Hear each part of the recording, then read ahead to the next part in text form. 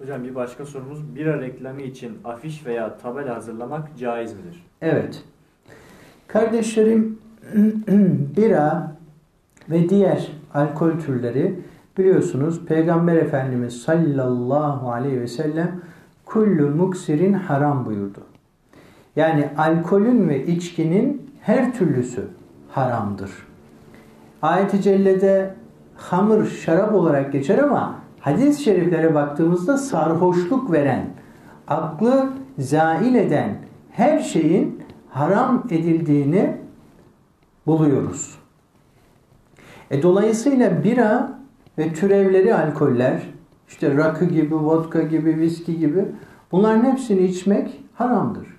E, haramın reklamını yapmakta haram olur tabii ki. Hocam ben ama afiş basıyorum, tabela yapıyorum. Efendim e, benimki e, naylon, yazı, işte mürekkep filan. Öyle ama bir kaidemiz var İslam kavaidinde. El avnu fil masiyeti masiyetun. Günaha yardım etmek de günahtır. Sen şimdi ne yapıyorsun o bira reklamını yaparak? Gel gel gel gel buradan bira al. Gel gel rakı al.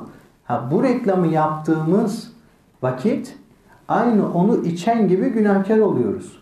Nasıl faizde erkilü riba ve mukilu ve e, efendim e, ribayı yiyen, yediren, ondan sonra ve şahidu, şahit olan ve katibuhu yazıcısı olan bak hepsi. Demek ki bankada çalışan bir adam bütün parası haram oldu gördün mü? İçkide de öyle. Kendi helal malınla yapıyorsun ama yaptığın firma bir tekelse, bir içki satan yerse, meyhane ise neyse artık e, bu caiz olmaz. E, günaha yardım etmek günahtır kaidesinden bu da haram olur. Onun için helalin reklamını yapmalıdır.